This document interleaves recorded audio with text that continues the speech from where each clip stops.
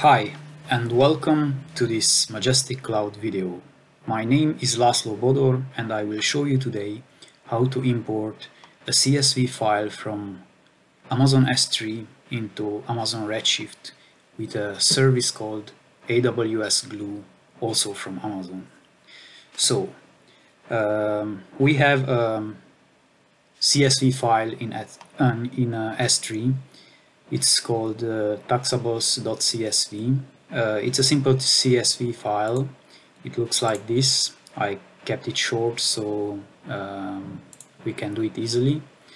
Um, there are only a few lines. Um, this uh, file is um, uploaded into S3 as you can see it here and uh, the goal is to uh, import it into Redshift with uh, AWS Glue.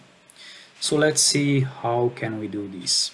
I have already uh, um, launched a Redshift cluster. Uh, I will not show you this because this is mm, basic stuff and you can probably do it alone.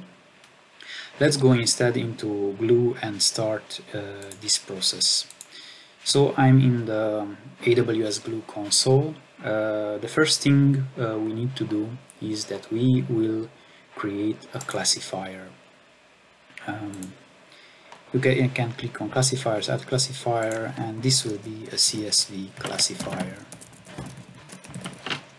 Um, we choose the type CSV, uh, and here we can define the options like what's the delimiter, in my case is comma, the quote symbol is double quote, so this is uh, the default stuff. I will change this to uh, headings, so it has uh, the CSV file has headings and we just click on create. The next uh, uh, thing we need to do is to create a crawler for the uh, CSV file that's in S3. So click on add crawler. Uh, this will be the CSV crawler from S3. Um, here we go to the, with the default uh, things but we need to add this classifier we created in the previous step. So it's added here. Then click next and um, here leave the default data store. Uh, we can we need to choose what's the data store. It will be here we need to select the s3 file. This is my s3 uh, data and click on the this is the taxable data data bucket and the taxable CSV we select it. So this is the file. Uh, here we don't put anything at the moment. Uh, go next to add an, another data store. Here we select no. Then we need to um, uh, choose an IAM role or create a new IAM role. So um, here we create the import role it will be automatically created by glue for us. Um, click on next. The frequency on, of uh, this crawler how often it should run. You can set it on a schedule or you can run it on demand. So I will choose run on demand because I will run it manually. Click next. And now we need to uh, define where the crawler will uh, put the output of um, of its uh, process. So here we add a new database. The database will be called um, CSV data from S3. Um, we don't enter a location, it will be automatically determined. Click on create and uh, here we leave all the default options. Click next this is a confirmation screen and we just click on finish. Okay so this is the crawler for the CSV uh, data this crawler will basically go to S3 and identify the structure of um, uh, of your CSV file and will create um, a database in the table here uh, with that uh, metadata. Uh, but in order to do this we need to run the crawler so I am um, uh, running it now uh, while it runs I will go to connections and we will need to uh, set up here the connection um, the Redshift connection where we will put the data. So we will click on add connection. Connection name will be Redshift cluster. Uh, the database engine will be Amazon Redshift. Click on next. We will choose our cluster. This is my cluster that I have defined. It automatically selects the default database and the user. I will only need to add my uh, password here click on next finish um, I will um, click on test connection I will have to choose the role that I've created. Click on test connection and it will uh, uh, test the connection. From my experience this can take a bit of time so we'll not wait for this uh, anyway it will notify us when it, finished. Um, so let's look at our crawler. Our crawler is running. It's starting. Uh, meantime let's go into uh, SQL workbench which I use to connect to the Redshift cluster and look at our table. So this is the table in um, Redshift. Um, I've created it beforehand and um, you can see it has uh, only the four columns that I need. If we look it has no data whatsoever. Ah, we received uh, an error. Not sure why yeah so it was an error uh, some temporary error. It, it works. Uh, I have no items in this table. And uh, here will go my data that will be imported with AWS Glue. Let's go back to Glue um, okay.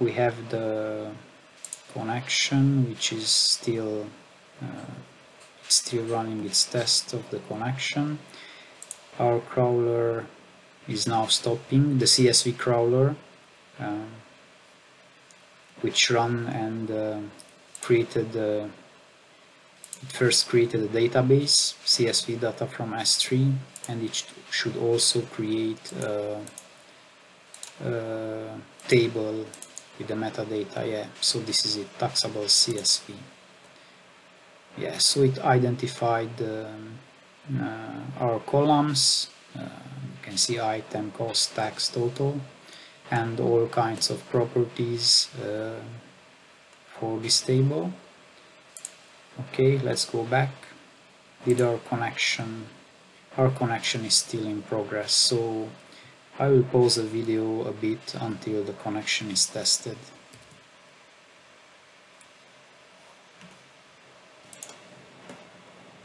Okay, so now um, the connection was successfully tested. It uh, says that Redshift cluster connected successfully. Um, now what we need to do is define another crawler. This crawler will connect to the Redshift database and will identify the schema uh, of our, of our table. So add crawler, this will be the Redshift table crawler. Okay, click on next. Uh, let's see what are the, the options here. We leave everything on the default and click on uh, crawler source type data store here we need to choose a JDBC type uh, of um, connection and we choose the connection we defined in the step earlier, Redshift cluster. And here we need to um, uh, put in the table path. So basically this is the name of the database. In my case it's products db the schema which is public, and then the name of the table the taxable CSV okay let's confirm this so we are in the database products DB the schema is public and the table name is taxable CSV so this is right uh, this is the path um, you could su substitute this with a, a percent character and um, it would detect all tables with, uh, within this schema. So it's useful to know that. So let's go on to the next step. Uh, we don't add another data store. Uh, we choose the role that we created and then um, choose the frequency which will be also on demand. Um, the output will go to another uh, schema database which will be redshift schema for taxable table for example um, okay let's go on the next step and finish so we have now another crawler which is the redshift table crawler and we will need to run this one also uh, and it runs and it, it detects our uh, table configuration and schema and stuff like that. Okay, so our crawler for Redshift runs successfully and uh, it created a table with the information for uh, the Redshift schema and now we have the two, two crawlers, the Redshift crawler and the S3 crawler. Now we need to go to jobs and create a new job. Uh, this will be transfer from from S3 to Redshift.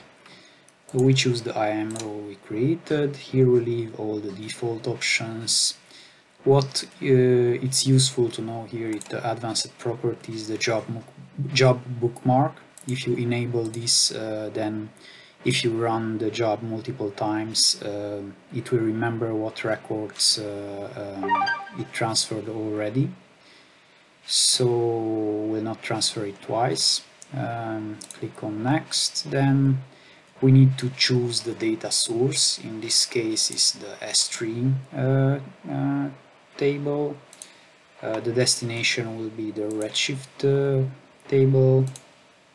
Okay, uh, so you see here it has the schema for the two tables this is the source and this is the target uh, we click on everything is fine but you could change here the types if you want to or add columns. We click on save job and edit script. Uh, it takes us here into this uh, uh, this script where you could uh, add some advanced options like transformations you want to do on the data or stuff like that but in this case we won't do anything. We just save the job close it and um, we will run it. So here uh, we select it and run job. Uh, here are the properties which we will leave everything on default and run job. So what happens, our job uh, is preparing to run. Uh, from my experience, um, uh, when we have a cold start, like in this case, where everything is new and uh, our job didn't run before, it takes about uh, 10 minutes uh, until AWS spins up the necessary infrastructure to load our data into Redshift. Even if our table is uh, pretty small and the data is small it still takes about 10 minutes uh, to to uh, spin up the the cluster for us to run this job so I will pause the video and uh, resume it when everything um, uh, is uh, ready and our job starts to run. Okay so we're back. Um, it took about 10 minutes uh, for our um, import cluster to spin up, but uh, the execution time actually was just one minute because we have a very small table. So um, if you have like a very, very large CSV file, probably it will take a lot more time than one minute to run. And then the 10 minute spin up time justifies uh, somewhat for such a small table it it's really a long time but let's see if our data really is in here so here uh, we are in the SQL Workbench tool and I will do a refresh on the table. And you see that the data which we had in the CSV file it's all here. It was imported by AWS Glue. So let's see here here's the yeah the data in the CSV I have it opened with uh, uh, the spreadsheet uh, software. And uh, yeah it says that uh, it imported and everything is fine. So this is how you import a CSV file with uh, AWS Glue. As I said earlier uh, for very small uh, CSV files it's uh, an overkill to use AWS Glue. You could just use the copy operation in Redshift. Uh, I will do a video on that uh, sometime in the next couple of weeks. Um, so this only justifies for like very very large CSV files and also uh, in cases where you need to do also some um, ETL uh, processes on it, uh, for example transform data, um, you have um, you have here the um, that script edit script this script which you could uh, actually edit and do some stuff with the data some transformations or add some other stuff to it uh, so there are lots of things that you could do uh, here with the data not just a simple import. But I just wanted to show you the basics of uh, how to import the CSV and then uh, maybe in a future video we will dive deeper into how you can do transformations here in this script. So that's it uh, for the moment. I hope you liked this video. If you did, please subscribe to the channel and uh, I will see you soon in another video about the AWS Cloud. Thank you again and have a great day.